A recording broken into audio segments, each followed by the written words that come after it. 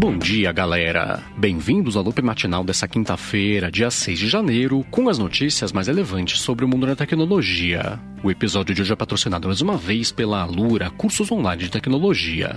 Quem fala aqui é o Marcos Mendes e hoje no seu loop matinal do Loop Infinito vou começar continuando, na verdade, aquele resumão que eu tenho feito por aqui do que ter pintado na CS, começando pela Targus, que lançou uma mochila compatível com o buscar da Apple. Isso quer dizer que quem comprar essa mochila consegue ver no mapa a localização exata do acessório, o que é uma coisa bem útil, né?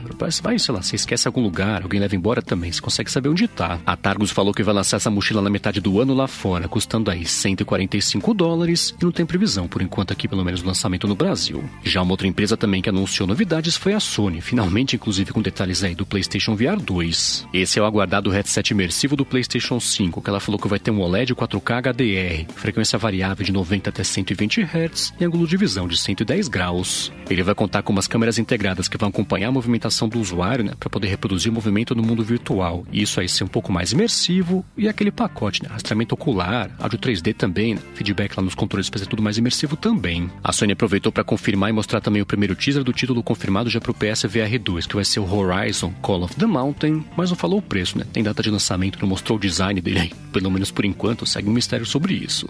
Agora, uma outra coisa é também que a Sony confirmou foi a entrada dela de vez no setor automotivo. Ela criou uma empresa separada chamada Sony Mobility e apresentou o conceito de um carro já, que é o Vision S02, né? Que é uma revolução do conceito que tinha anunciado recentemente, mas que agora está funcionando, pelo menos no teaser e também, né? Para ver esse vídeo aqui tem link na descrição.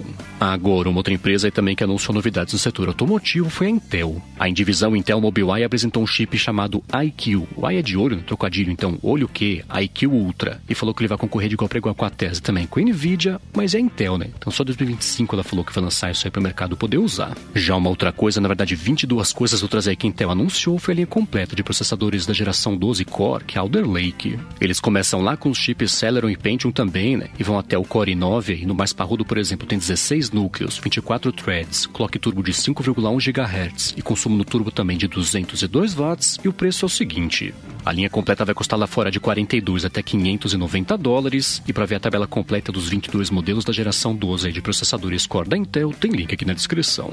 Bom, e voltando aqui a falar do setor automotivo do que está pintando na CES, a Qualcomm anunciou que está expandindo as parcerias delas com montadoras e vai contar com parcerias agora com a Volvo, também com a Honda e com a Renault. Ela falou que a Honda, por exemplo, vai começar a usar a plataforma Snapdragon Cockpit para poder deixar mais parrudo o entretenimento embarcado do carro, né, que hoje roda em um sistema Android, e a Renault vai ser um pouco mais profunda a parceria que ela vai aproveitar. No caso da Renault, ela vai usar a plataforma Digital Chassis da Qualcomm, que vai oferecer, por exemplo, direção assistida, serviço também de nuvem e por aí vai. A expectativa é que a partir da segunda metade desse ano, pintem os carros já com frutos aí dessa parceria entre a Qualcomm e as montadoras, se juntando, né? A BMW, por exemplo, GM e Hyundai também, que tem parceria já faz um tempo aí com a Qualcomm. Agora, uma outra parceria também que a Qualcomm anunciou foi com a Microsoft no mercado de headsets imersivos. Elas vão unir as forças delas para tentar evoluir um pouco mais rápido aí esse mercado de processadores para headsets de realidade aumentada, o que não é nem surpresa, né? Que é um chip da Qualcomm que está dentro do HoloLens, que é aquele trambolho lá da Microsoft. Com essa parceria, elas querem inclusive reduzir o tamanho dos headsets aí, para poder lançar no mercado umas coisas mais apetecíveis para o grande público, mas não falaram nada de planos concretos aí do que elas pretendem lançar.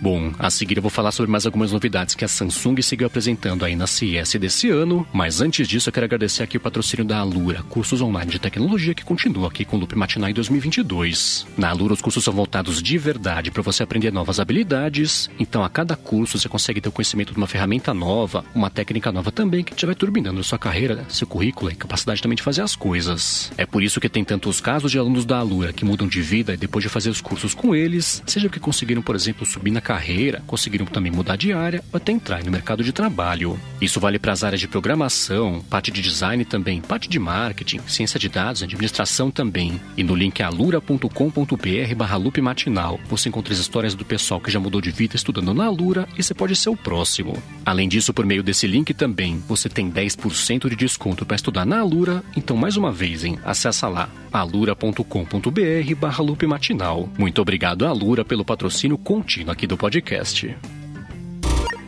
Bom, vamos lá, né? Eu comentei por aqui no episódio de ontem de dois monitores bacanas aí que a Samsung anunciou na CS e tem um terceiro agora que eu vou falar que é bem bacana também, que é o Odyssey Arc. Ele tem um mini LED curvo de pontos quânticos que é 4K com 55 polegadas e claro, né, que ele chama atenção por ser bem gigantesco em comparação com os monitores mais tradicionais.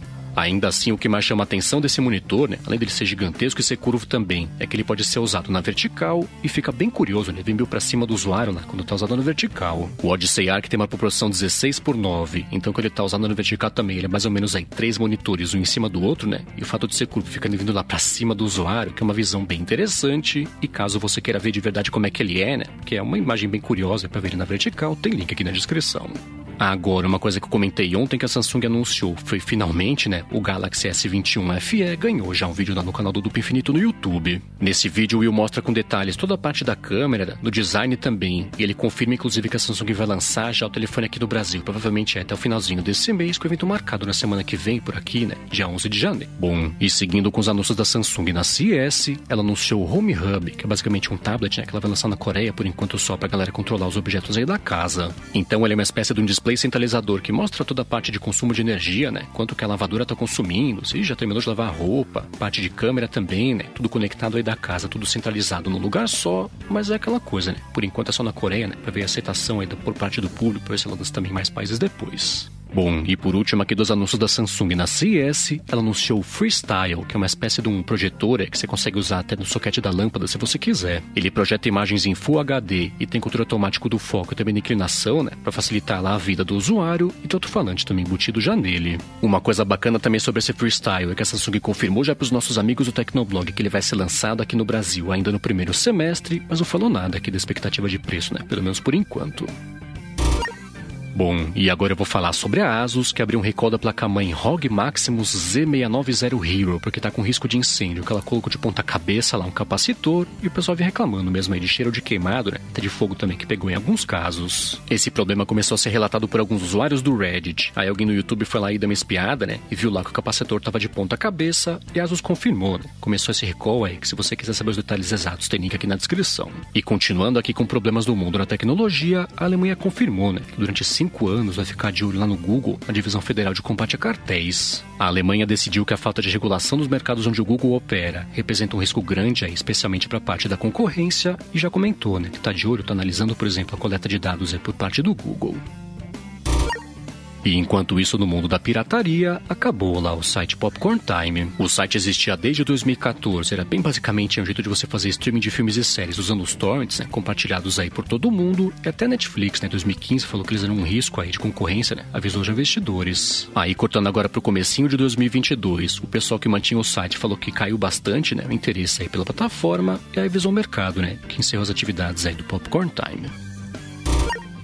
Bom, e agora eu vou falar sobre o WhatsApp que vai adotar, né? aquele recurso que pintou no iOS 15 de mostrar o avatar da pessoa lá quando chega a notificação. Quem compartilhou essa novidade, isso para variar, né? Foi o pessoal do site WA Info que teve acesso aí o beta do WhatsApp pro iOS, então deve ser logo aí que vai pintar essa mudança, né? Que não mexe muito na estrutura do aplicativo. E ainda sobre plataformas de comunicação, o TechCrunch comentou que o TikTok tá seguindo em frente com o plano dele de fazer um botão aí de republicar os vídeos que a pessoa gosta, mas do jeito diferente aí do que a gente tá acostumado. Então o que vai acontecer com esse botão de republicação, né? Se você gostar de um vídeo, por exemplo, é que ele não vai aparecer na sua timeline de vídeos publicados, mas sim para seus amigos lá na parte de recomendação, né, naquela aba For You. O TechCrunch comentou que esse botão tem aparecido para mais pessoas nos últimos dias. O TikTok confirmou, né, que é exatamente assim que eles pretendem que o botão funcione, mas não falou nada, por enquanto, pelo menos aí, sobre quando que eles pretendem lançar isso aí para todo mundo. E enquanto isso, no mundo da música, a Apple liberou a versão de 2022 daquela lista que ela tem feito do Shazam, com as previsões de tendências do mercado da música e de quem pode fazer sucesso aí, que é relativamente desconhecido hoje em dia. Ela criou uma playlist na Apple Music, inclusive, com os artistas que estão sendo identificados pelo pessoal, né, que a galera não conhece ainda, tipo da Higher Star, Danny Lux também, Lynn Lapid e grupos tipo Sad Night Dynamite, Stacy, para o pessoal conhecer, né, caso não conheça ainda, e caso você queira ver essa playlist, tem link aqui na descrição. E ainda sobre as coisas da Apple, encerrando aqui o episódio de hoje, o site The Economist comentou que até o finalzinho desse ano ela pode entrar de vez no mercado de audiolivros, que era um rumor, né? Que tinha pintado mais ou menos na metade do ano passado. O Economist comentou que assim como quase tudo da Apple hoje em dia, isso vai ser uma assinatura, né? Você assina o serviço lá para conseguir acessar os audiolivros, mas pode ser também, né? Que ela lance como parte do pacote aquele Apple One, que você assina tudo de uma vez também das coisas que ela oferece.